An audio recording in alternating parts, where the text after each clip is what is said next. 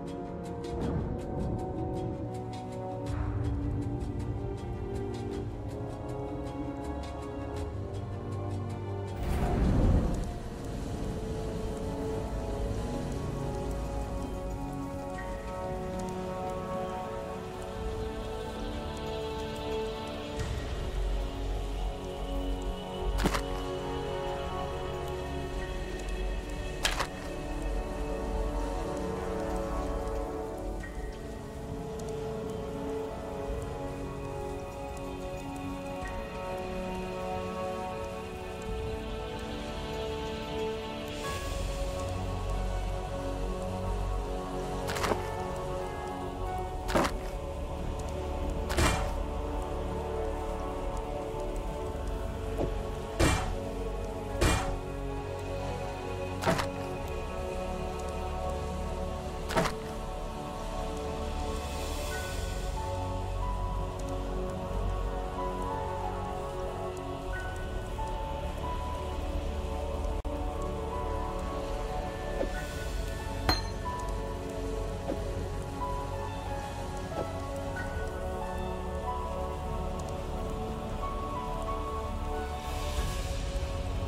It's told that Brutus was a man of stature, the warden of Axiom Prison, a man cursed by a twisted enchantment of his own commission. If there's a grain of truth to the tale, then Brutus has my pity. Have this. It may be of some help.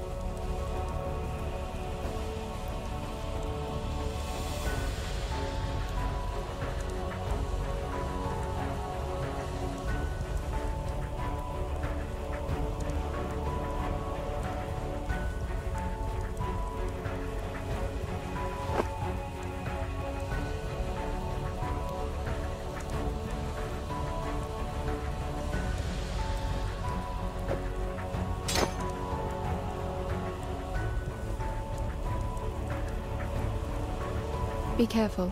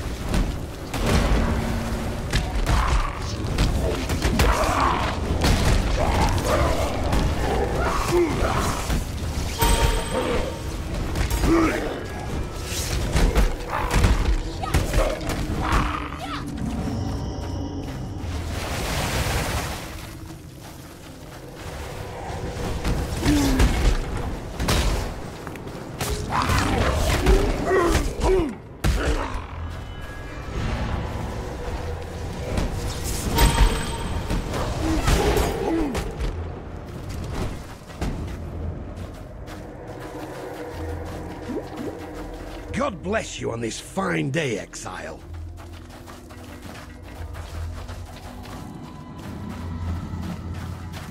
Care for another dance with Lady Sin, Crusader? Sadly, this holy site has fallen to the corrupted already. It's our duty to put the poor, bastard place out of its misery. The corrupted draw strength from twisted spots like this, you see. Can't be having that now. So lay about you, Exile, and quickly now. Lest Nightmare sense our cause and choose to tighten its grip on this place.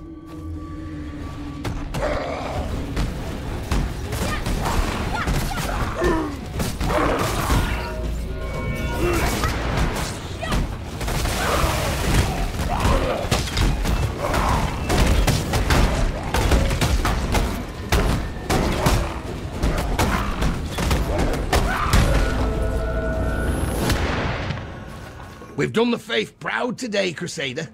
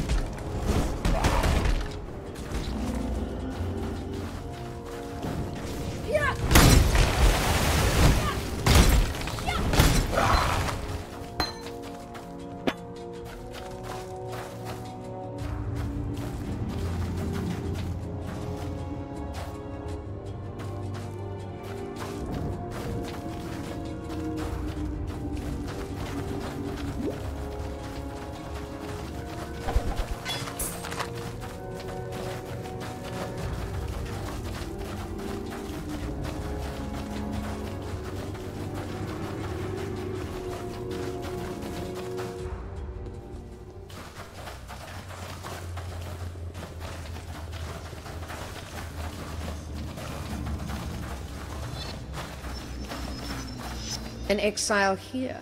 A shame the Warden won't leave anything for me to examine. Make sure you tell our host that piety of Theophilus.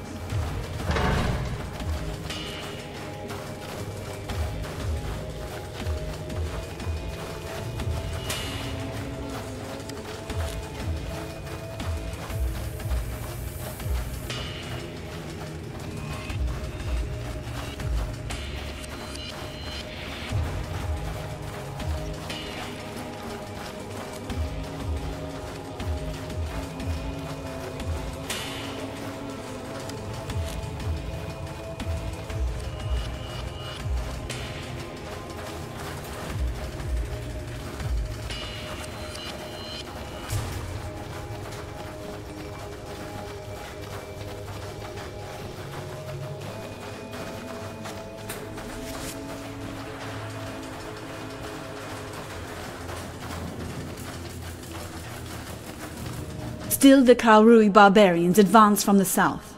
Lioneye is dead, his legion slaughtered. Should the need arise, we shall retreat through Prisoner's Gate, raising my barricade behind us. But our Lord Brutus nears readiness. Foul times demand heroism. The Warden will serve as our savior. May he crush the Karui into the sand with the mighty fists I shall gift to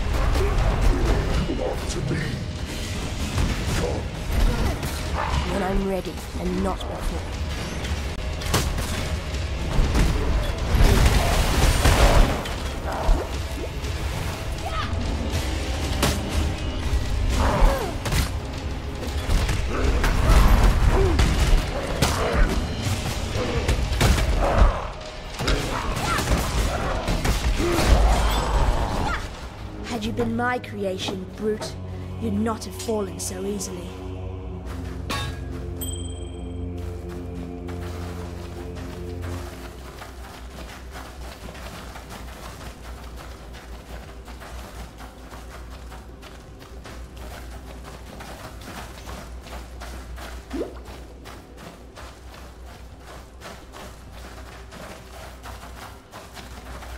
Dear Shavronne, have certainly had your work cut out for you with Lioneye's Legion. Do not concern yourself with Marceus' complaints. Our Emperor is fully aware of the General's fickle nature. As to your need to accelerate the implantation process, I can recommend a quite simple alteration. Dip the gem in a boiling solution of six parts blood and one part thaumatic sulfite for no more than 13 seconds. Any longer, and you invite the crystal's wrath.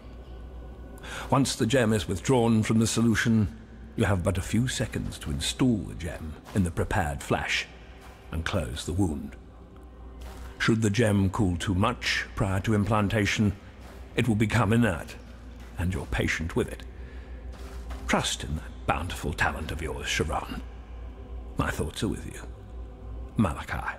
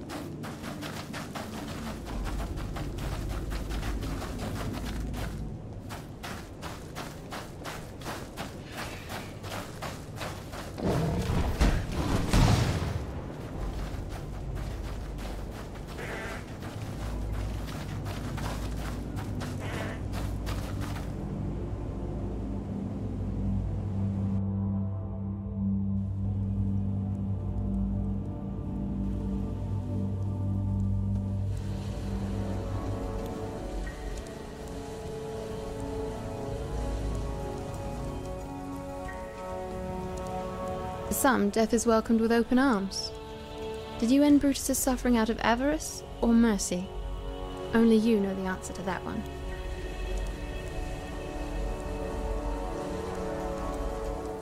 Is it choice that carries you here, or is it fate? I see a need in you. A need to peer into your future. A need to follow the right path. But your future has already been cast. So open your mind and embrace it. Long ago, my people called me a Hatungo, a wise woman. Now they call me a revenant. But it is not my fate to return to the Mother of Death just yet. For now, I stand with one foot in this world, and the other foot in the realm of the dead. I'm an inquirer of the living, and an interpreter of death. I sense you have questions. For a gift of silver, I will answer them. But you seek more than answers. Riches, power. These I can also provide, in a way. All you have to do is join me. Heed my words, but walk your path. The future is mine to tell, but yours to claim. It is time to fulfill your prophecy.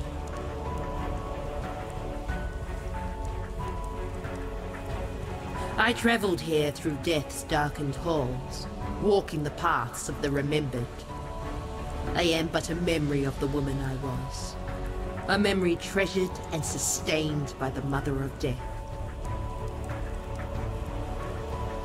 I awoke in the halls of death, with the life I once led little more than a dream half remembered.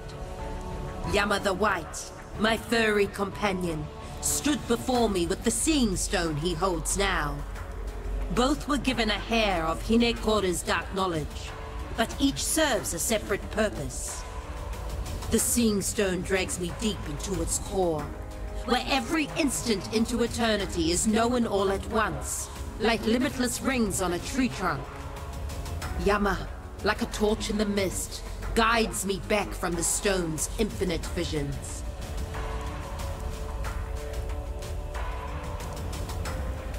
Hinekora, my mother of death, is not the only god, exile. The Karui are watched over by many. Ngamahu lends us fire, which illuminates the path. Tawhoa gives us the trees and birds that line the path, so that we may enjoy beauty and peace. Tukohama provides us with weapons and knowledge of war, which lets us walk the path safely. And in the final days of this world, Kitava, whose hunger knows no bounds, will take it all away.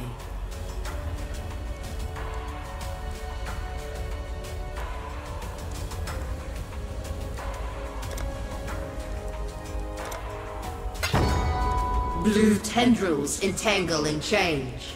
All that remains is gold. Let me tell your future.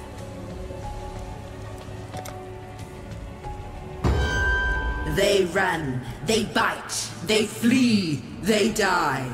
Swarms of fur and teeth and tail drown each and every room. The Warden's finally free of his own prison. Well, since you're so bloody determined to cheat the britches of death, you'd better have this. And when they write the song about you, just be sure to mention that it was Tarkleigh who taught you everything you know.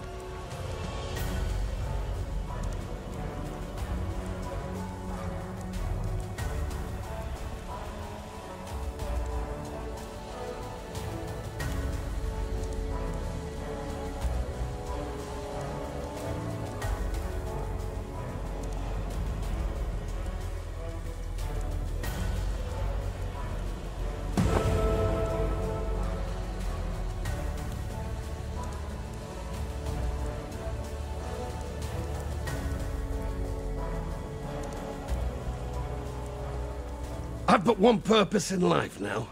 Defend the last vestiges of faith in this god-forsaken land. Well, can't be completely god-forsaken. He sent you and me here, didn't he? Now, I've a few trinkets lying about that might be of use to you. Adornments imbued with what little faith I can muster in this accursed place. That said, the more corruption we smite, the more faithful I'm likely to be feeling. I can make some damn fine baubles when my divine ire is up, In the meantime, let me know if any of my current pieces catch your eye. Ah, God has delivered you to me, and as always, his timing is divine. I've just put the finishing touches on a few baubles. Dripping with faith they are, brimful. Have a wee look and let me know what you think.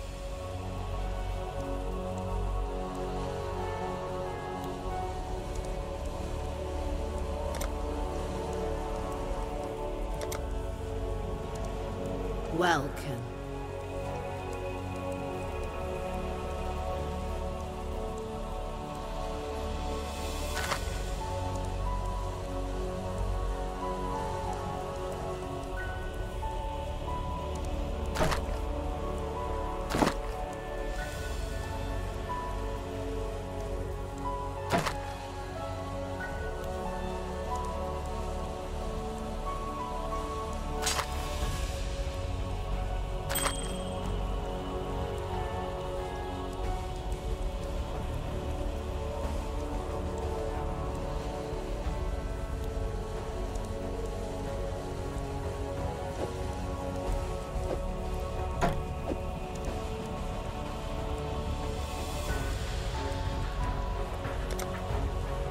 Hello.